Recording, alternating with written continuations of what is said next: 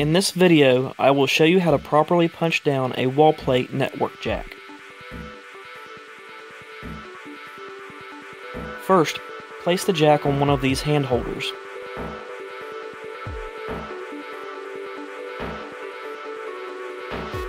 Then strip and straighten your wire.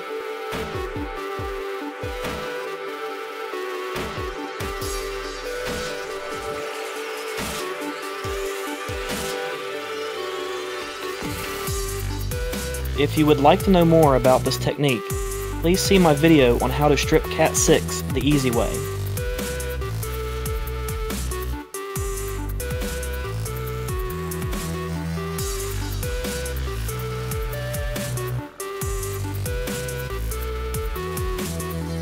Next, you will want to lay the wire down according to the color code. In this example, blue goes to the top right with the stripe on the outside, orange on the left with the stripe on the outside, brown on the bottom left with solid on the outside, and green on the right with solid on the outside. I rotated a bit, but this is how it should look.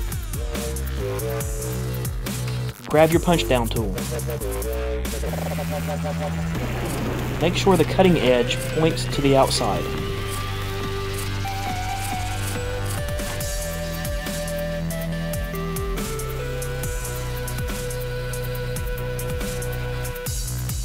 I like to punch down in diagonals.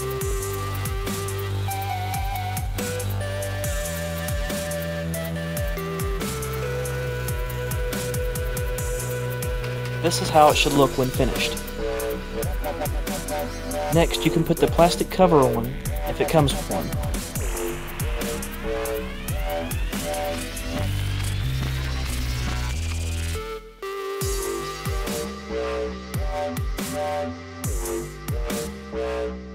You're all done.